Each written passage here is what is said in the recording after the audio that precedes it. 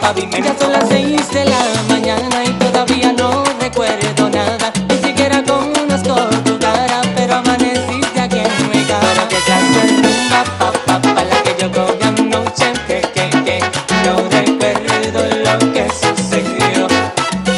Pero qué clase rumba, pa, pa, que yo cogí anoche.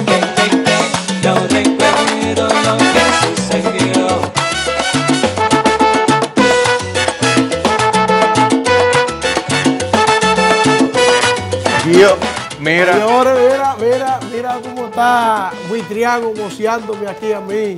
Como que llegamos. ¿Fue que llegó Trifolio? no, no, no ha llegado informe. Trifolio, saludos. Señores, Trifolio de que viene bañado en dólares. Que está de gira por Estados Unidos. Y usted sabe que Trifolio es como los artistas buenos. Que cuando hace una gira le va bien. Así que de seguro viene bañado en dólares. Saludos para Juan Cruz y Trifolio, aquí con la responsabilidad de hacer lo que se hace en con punto y coma. Y no poner la coma primero que el punto, porque primero es con punto y después con coma. Y hoy tenemos aquí un plato fuerte. Tengo a mi derecha, aunque el hombre es de izquierda, pero está a mi derecha, Fernando Buitrago. Ah, buen día. ¿Viste que lo dije bien? Buenos días, sí. ¿Viste Buitrago, buitrago. Bui de buitra y trago de tragar. Pero viste que lo dije bien. Ah, sí, menos mal. Buitrago. Al fin. Y a mi izquierda, aunque me dicen que el hombre está medio de derecha, pero está, está a la izquierda.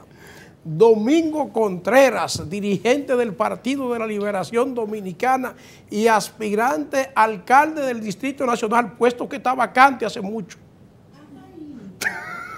No, no está vacante ese puesto. No está vacante el puesto de alcalde. Bueno, se va a poner vacante las. Domingo, muchas, muchas gracias por estar con nosotros aquí Gracias. en Con Punto y Coma. Eh, en un momentito vamos a estar conversando con Domingo Contreras. Miren, hay un informe del Banco Central que dice que la economía creció 6.5% en el primer semestre de este año. Yo sí sé dónde fue que creció. No creció 6.5, creció más de ahí, en la casa del gobernador del Banco Central. Ahí creció mucho más de ahí. Pero en la casa de los pobres dominicanos no le vayan a decir que la economía creció, porque eso no se siente. Y si la economía crece, el pueblo tiene que, sentir, que sentirlo. Yo no entiendo esto, cómo es que miden esto del crecimiento de la economía de un país que lo que está cogiendo dinero prestado a dos manos. A mí tienen que sacarme la cuenta de nuevo y sacarla clara. No es cierto, señores, que van a seguir maquillando los números de un país que se va convirtiendo cada día más pobre y que cada día tiene que coger más y más y más préstamos. Eso no es posible. Sí, que se que siga sí. allantando de que este país, la economía sigue creciendo, Buitriago. Sí creció, sí creció, claro que creció. ¿Que creció dónde? Pero cada vez que voy al supermercado me encuentro que todos los precios crecen. ¿Cómo tú me vas a decir a mí que no creció? Claro que creció. Creció la necesidad de más dinero para poder pagar la canasta. Antes yo llevaba un carrito de los grandes, cuando llevaba mil pesos, ahora tengo que coger, eh, mejor dicho, los chiquitos, ahora tengo que coger uno grande. Acabo yo de pasar ahora, me compré un yogur, un poco de pan, un espagueti y dos o tres boberías, 700 pesos. Claro que creció. ¿Cómo tú vas a decir? ¿Cómo tú vas a desmentir al Banco Central? No puede ser.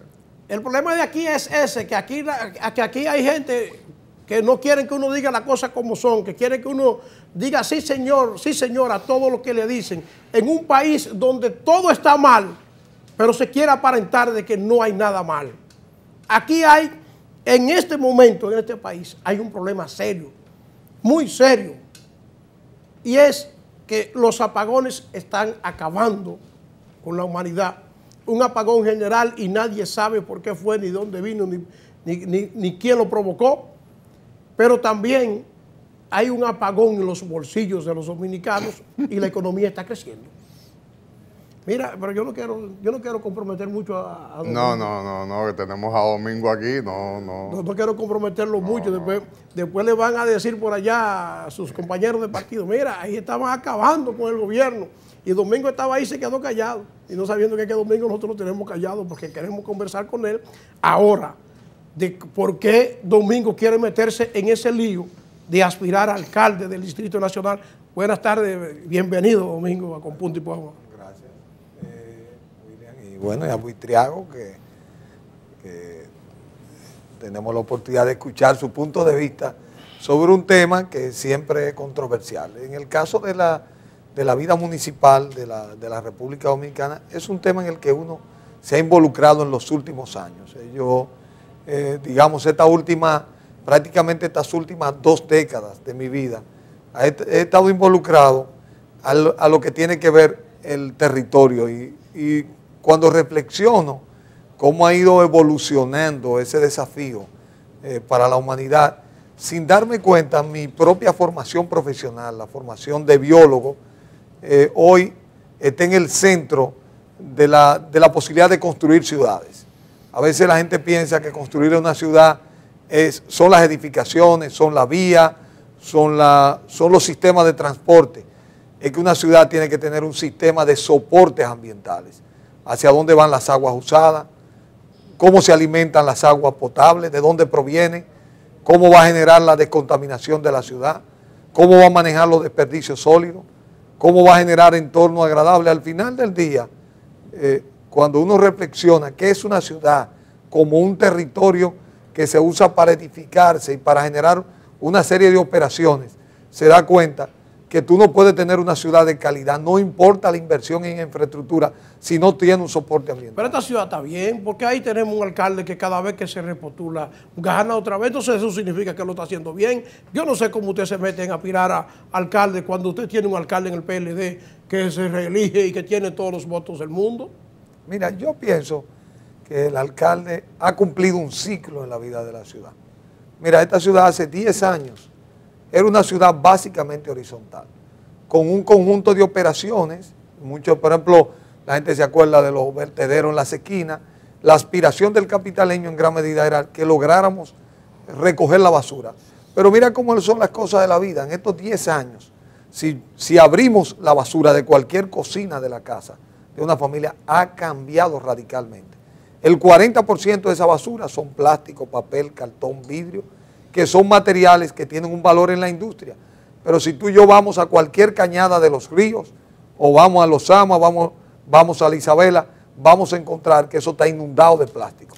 Fíjate, materiales que tienen un valor económico hoy se han constituido en una fuente de contaminación. Pero ¿qué pasa? Que nuestra basura también, nosotros hemos tenido un desarrollo tecnológico, tenemos mayor cantidad de celulares, ahora usamos luces de bajo consumo, tenemos dispositivos de computadora. ¿De qué están compuestos esos materiales? Cuando se dañan, ¿dónde disponemos de ellos? Conjuntamente con las otras basuras. Entonces, esto tiene litio, mercurio, camio, son sustancias altamente contaminantes, cancerígenos, de gran impacto, que lo necesitamos porque mejoran nuestra vida. Entonces se requiere que aquí se entienda que hay que dar un cambio en el manejo de la disposición. Por ejemplo, eso de que recoger basura en todos los horarios, no puede ser. Aquí tiene que pasarse. La recolección en gran medida tiene que ser nocturna. Tiene que ser nocturna. Hay territorios que quizás no te lo permiten y hay servicios que tú tienes que realizarlo para complementarlo en otros horarios. Te dicen nocturna, no la recogen de día, Buitriago, la van a recoger ¿Y de qué, noche. y qué- y qué hacemos con...? Mira, eh, el, el gran problema que hay es que antes, donde había una casa, la compraron, hicieron un edificio, entonces una casa, vamos a suponer que tenía tres carros. El edificio ahora tiene dos apartamentos por cada piso vamos a poner un edificio pequeño de 10, de 10 pisos, por lo tanto tenemos 20 apartamentos, cada uno de ellos con dos carros, y entonces simplemente la ciudad explotó. Explotó porque es que no hay donde meter tantos carros. Y hay algunos cambios que se han hecho en los últimos tiempos, eso de la- las izquierdas no permitidas, esa misma intercepción de la Tiradente con 27, eso es como para, como para morirse. No sé quién, no sé quién aceptó ese tipo de cambios, pero, pero la ciudad, la ciudad de Santo Domingo es un caos, un caos total. Otra cosa, eh, mucho para acá, pero para los barrios hay, hay poco, poco se ha hecho en los barrios, Poqui- poco no, poquísimo se ha hecho en los barrios. Eh, yo felizmente, y lo tengo que decir, me mudé para la zona oriental, eh, Santo Domingo Este, y cada vez que vengo para acá, para el distrito, me cuesta mucho trabajo, mucho trabajo. Ese es el problema número uno que tiene la capital, Domingo. Que mucha gente vive en Santo Domingo Este, vive en Villa Altagracia, como el caso mío, pero duramos todo el tiempo aquí en el distrito. duran todo el día. Pero miren una cosa que ha pasado también con el sistema de transporte y movilidad de la ciudad. Tú tienes, tú no puedes tener una ciudad que todas operaciones concurran a la misma hora. Tú tienes un camión de la basura recogiendo a las 7 y media de la mañana, tienes una concretera vaciándote en una calle a esa hora, tiene camiones, aquí, por aquí pasan todos los días 18 mil furgones pero tú tienes un sistema, porque como este es el centro de abastecimiento y operación de muchísimas empresas, esas operaciones se hacen en cualquier horario. Está demostrado porque nosotros llegamos a hacer un estudio, se quedó de que se iba a trasladar, como muchísimas otras ciudades lo tienen, la operación de transporte de carga a horario nocturno. Por eso es que yo digo que el ayuntamiento tiene que dar el primer, el primer paso. Y, y no es hora que, la, que las instituciones del Estado que están en el área de lo que le llaman la bolita, y esto es palabras mayores, es una propuesta que, que la ha hecho pública en vehículos en la radio el, periodista Vera, el presentador Vera, que él dice que la- la- las instituciones del Estado que están en toda esa área, que le llaman la feria, y otras y ni hablar ni hablar de donde está Interior y Policía, la DGI, en, e- en, esa, en esas dos zonas de la ciudad no hay quien encuentre un parqueo. El, el que tenga que ir Interior y Policía tiene que parquear como a, como a 10 cuadras de ahí. Entonces, esas instituciones que son instituciones del Estado, a la cual la población va de vez en cuando, no, no va todos los días, pero sin embargo son instituciones viejas que tienen poca capacidad de parqueo. ¿Por qué no, sacar, ¿Por qué no hacer lo que por suerte hicieron los norteamericanos de sacar su sede hacia afuera? Tenemos toda la... Hay mucho terreno en esa área camino a San Cristóbal y esas instituciones se pudieran sacar perfectamente. Y son dos, dos cuellos de botellas grandes que hace, no solo los que, los que trabajan en las instituciones. Óigame, uno va ahí cerca de donde está el, el- Congreso y todas esas calles son parqueos, todas esas calles uno ve carro, carro, carro, carro, carro, carro, carro son, son edificios que se hicieron sin, el- sin la infraestructura de parqueos. Entonces, ahora, las calles de- del municipio o las calles del distrito se convierten en parqueos precisamente porque esas edificaciones no hicieron los parqueos o no lo buscaron soluciones. ¿Qué usted dice a eso? Mira, con el tema de los, de los parqueos, tenemos dos desafíos. Hay uno que se va a llevar un poco de tiempo. Tú tienes que tener transporte colectivo. Fíjate que las- la feria se beneficia del hecho de la parada del metro, porque por suerte muchos usuarios y personas que trabajan en ese centro ya vienen en el metro, pero mucha gente, por la situación de donde vive, tiene que venir en su carro individual, tanto los empleados como los que buscan servicio. Pero aquí tenemos otra, otra oportunidad. La propia máquina del metro, de la opresión del gobierno, nosotros pudiéramos crear una fiducia para generar un sistema de parqueo soterrado. Esa zona también lo, lo permitiría, eh, lo que tú señalas, hemos desarrollado un parque vehicular impresionante y no construimos la infraestructura para responder a esa necesidad. Pero hoy... Ni, de calle. Pero de ¿qué calle. pasa? Nosotros podemos hacer una fiducia, porque si te dicen, no, no tenemos el dinero para afrontar el reto de meternos en unos sistemas de parqueo, construyamos una fiducia. Son proyectos que se pueden construir y pagarse con los usuarios. Entonces, tanto con eso como con el drenaje pluvial y sanitario de esta ciudad, nosotros pudiéramos generar una alianza público-privada que permita realmente generar infraestructura que la ciudad la requiere. Cuando llueve esta ciudad se hace sencillamente No, un intransitable. caos, un caos. O hoy el agua, por ejemplo, sanitaria nuestra se ha ido mezclando con el agua que muchas de estas edificaciones utilizan porque tienen un pozo de agua sanitaria en un lado y otro pozo de agua para la extracción de servicios domiciliarios. Como esto se ha ido densificando, Todo eso está contaminado. no, ya hay gente con bacterias Ya, en el ya, estómago demostrado. Entonces, pero ¿qué pasa? Cuando se comenzó a construir el metro, se comenzaron a construir una línea de galería para el manejo de eso. Yo digo, aquí hay cuatro clientes en el país. Está la telefónica, que están soterrando cableado. Está la empresa eléctrica, que lo requiere. Está la CAS con el drenaje sanitario y el ayuntamiento con el drenaje pluvial. Domingo, hay, hay que anotar esto, señores.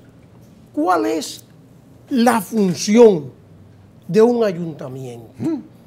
¿Qué es lo que tiene que hacer un alcalde?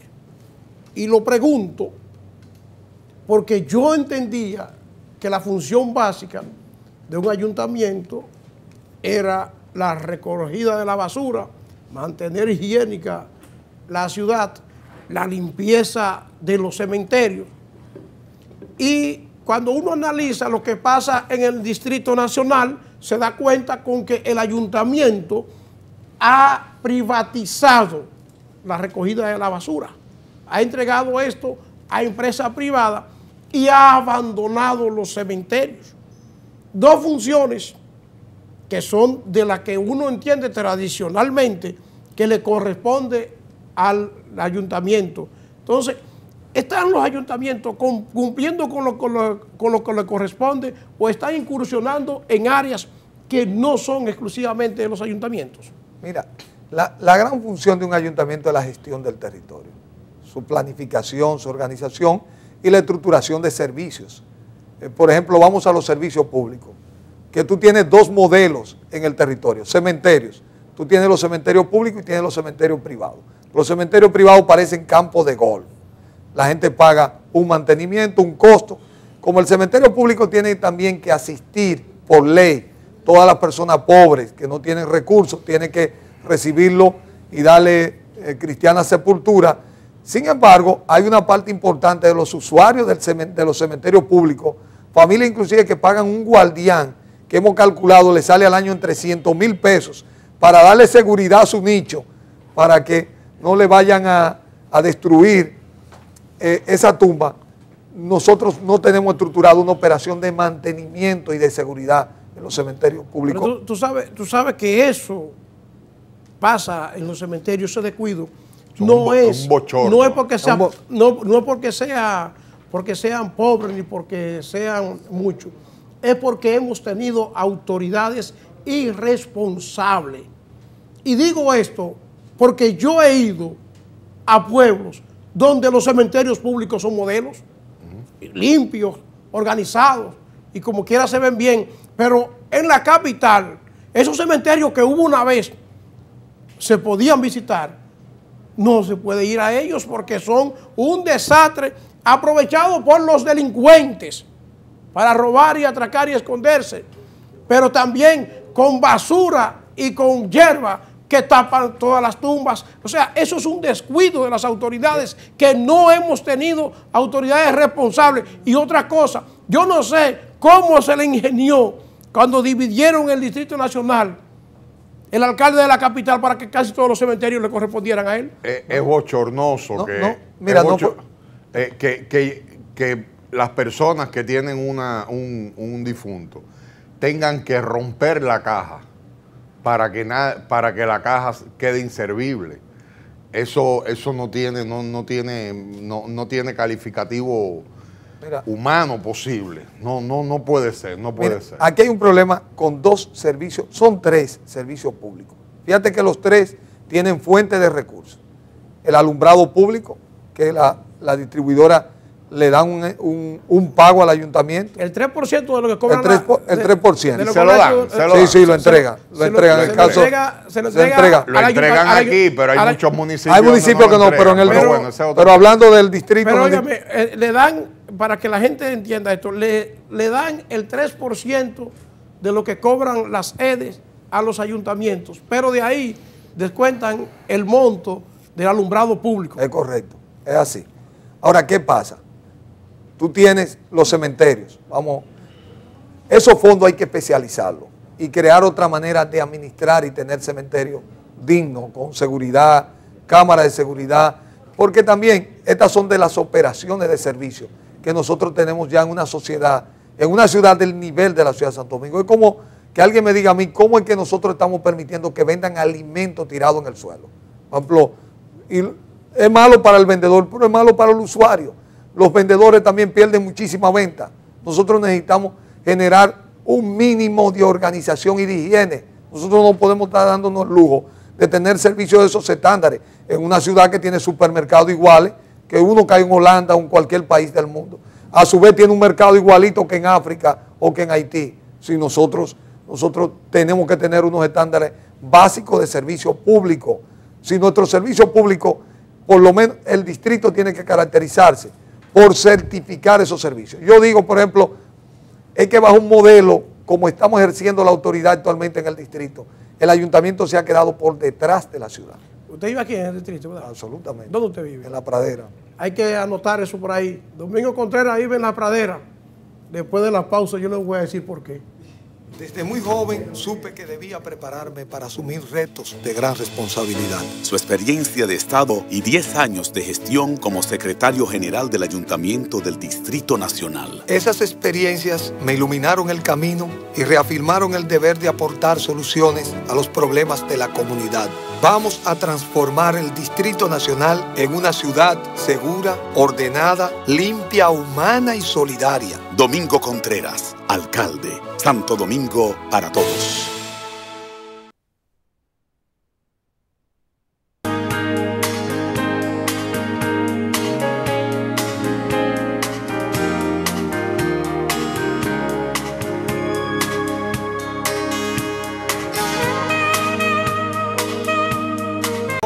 Supe que debía prepararme para asumir retos de gran responsabilidad. Su experiencia de Estado y 10 años de gestión como secretario general del Ayuntamiento del Distrito Nacional. Esas experiencias me iluminaron el camino y reafirmaron el deber de aportar soluciones a los problemas de la comunidad. Vamos a transformar el Distrito Nacional en una ciudad segura, ordenada, limpia, humana y solidaria. Domingo Contreras, alcalde. Santo Domingo para todos. Bueno, seguimos aquí con punto y coma. Vamos a reiterar nuestro saludo a Juan Cruz y Trifolio, quien está en una gira por Estados Unidos. Esperamos que esté muy bien donde quiera que se encuentre en este momento. Juan Cruz y Trifolio, mira, ya tiene hasta el número telefónico allá. Hasta número de, contacto lado. allá. Para, los que quieran saludar a Trifolio, llámenlo a ese número que está allá en Estados Unidos. 917-436-6472. Está sonando, cógelo, Trifolio.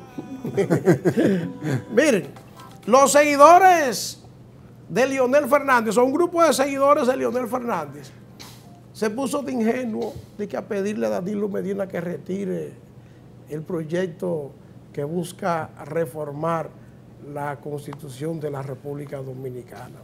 Introduzco con esto la siguiente pregunta a Domingo Contreras, quien aspira a alcalde de la capital, pero como va el PLD en si hay reelección o no hay reelección y una discusión que parece no acabar, ¿podría el PLD entonces contar con que va a ganar la alcaldía de la capital con esta discusión que tiene? ¿Está Domingo Contreras de acuerdo con la reelección o no? Mira, yo, yo he escuchado esa pregunta a raíz de estos acontecimientos una y otra vez. Yo quizá tengo la dicha de que soy de la vieja guardia, a pesar de, digamos, entré, tuve la oportunidad de entrar muy joven en el PLD. ¿Usted puede ser presidente de la juventud todavía? No, no, no. En, ya no. en otros partidos No, hay, no, más, ya- hay más viejos que ya, que han sido presidentes de la juventud. ya me estoy acercando al medio siglo. Ya esa es una etapa, que, ya es una etapa la- legalmente hasta los 35 años. Ya, ya es una etapa que pero, queda. usted, pero usted sabe lo que yo le digo. que No, hay- absolutamente. Que hay otros partidos que, hay, que con 60 años No, no, han eh, sido presidentes de la juventud. Eh, hay eso, pero en el PLD hemos tenido la suerte de ir, eh, digamos, haciendo los cambios, haciendo la alternabilidad en, la, en el tema de la juventud. Y le digo porque a lo largo de todo este periodo, los que hemos visto y ayudado a que el PLD se constituya en la primera fuerza política que hoy, hemos tenido que superar muchos ratos de dificultades, coyunturas donde se han visto en tensión más de una posición del PLD. Y yo no creo que esta va a ser una circunstancia diferente a esos fines. Sin embargo, yo digo que una gran diferencia que ha tenido el PLD a lo largo de todo este tiempo, fíjese que el liderazgo principal del país desapareció, pero el PLD ha encontrado en sus mecanismos institucionales la posibilidad de dirimir sus diferencias. Siempre hemos podido dirimir una diferencia en una elección, independientemente de que una parte no comparta los resultados de cualquiera de las votaciones que se han dado dentro del Partido de la Liberación Dominicana. Y no es que todo el mundo, yo, yo aquella expresión de la unidad en la diversidad, en el PLD es una realidad. Y esta etapa la vamos a superar, yo no tengo la menor duda, eh, tenemos el tiempo justo. Eh, yo creo que la sociedad dominicana apuesta a una continuidad del PLD, porque independientemente de que es favorable que la oposición escoja un candidato, que se consolide para que nos obligue realmente a prepararnos como partido. La mayoría del pueblo dominicano se decanta a favor del Partido de la Liberación Dominicana. Tiene una altísima aprobación de nuestro presidente de la República. Entonces, eso es una cosa que debe llenar de orgullo al Partido de la Liberación Sin, Dominicana. sin embargo, Domingo, eh, eh, todo eso que usted dice es verdad. Pero usted que anda, que anda recorriendo las bases, a los compañeros, usted sabe que hay mucho malestar. Hay mucho malestar en cómo se ha tratado esta, esta diferencia. Y usted habla de instituciones y aquí precisamente lo que se está cuestionando, incluso por, por gran parte de las bases, es en la manera en que las instituciones han actuado. Entonces, es verdad que el PLD tiene su historia, que hasta ahora han podido resolver el problema. Yo soy de los que cree que todavía hay tiempo para resolverlo. Los buenos políticos saben cuál es el margen de error a la hora de tomar decisiones, pero abajo hay mucha, hay, la gente está muy molesta de ambos lados, ¿eh? incluso abajo están unidos, ¿eh?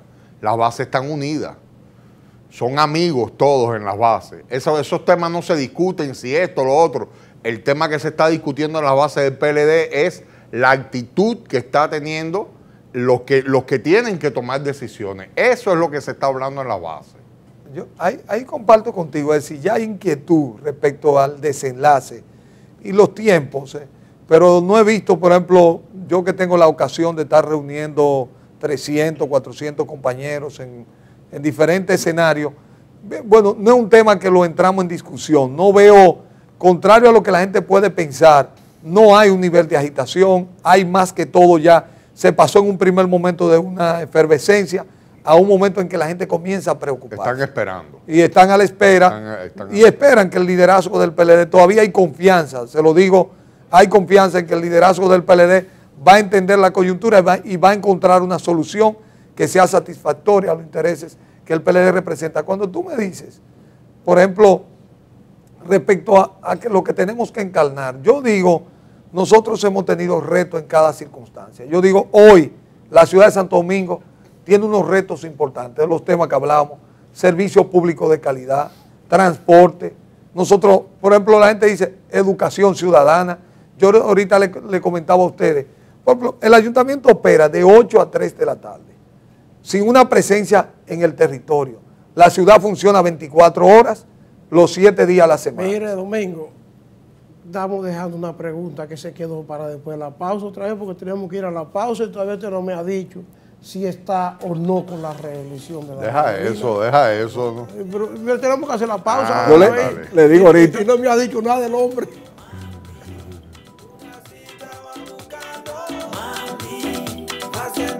enamorado.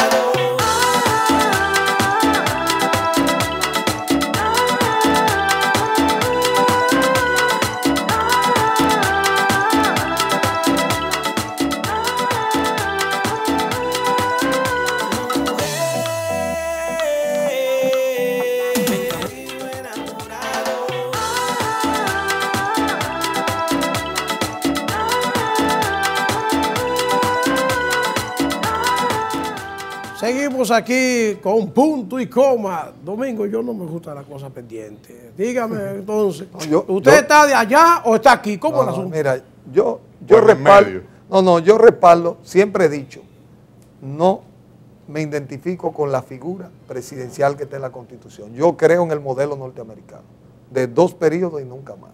Creo que es la única manera en que realmente una, un partido puede darle paso a una renovación permanente de su liderazgo. Lo otro se queda en un reciclaje permanente, que no conviene ni al partido ni al Yo- país. yo Por lo tanto, yo particularmente siento de toda esa reforma constitucional que me identifico plenamente con ella, creo que esa reforma hizo que la- Lionel se trascendiera a sí mismo. Sin embargo, la figura presidencial que quedó estructurada en esa constitución, yo nunca la he compartido. Yo creo en dos periodos y nunca más. Y creo que en las circunstancias actuales, que hay que llegar a un acuerdo, que se busque la manera, pero pienso que el presidente Danilo Medina ha hecho una labor que lo hace merecedor, no solo por la figura, sino porque nos permite re- retornar a la construcción de esta figura. Yo digo, ¿cuál es el país que construyó la figura presidencial? Los Estados Unidos de Norteamérica. Han hecho dos enmiendas a lo largo de su historia. Una, porque en la primera etapa de la vida republicana, el que quedaba en segundo lugar pasaba a ser vicepresidente y eso se convertía en una fuente de conspiración. Mire, Domingo, tan buena que está la cosa y se acabó el tiempo. Bueno. Lamentablemente. Muchas gracias a Domingo Gracias a Contreras por ustedes. compartir con nosotros. Excelente. Fernando Buitriago y William Rodríguez, deseándole éxito a Juan Cruz y Trifolio en su gira por allá, por Estados Unidos. Que venga bañado en dólares Trifolio de allá. Buenas tardes.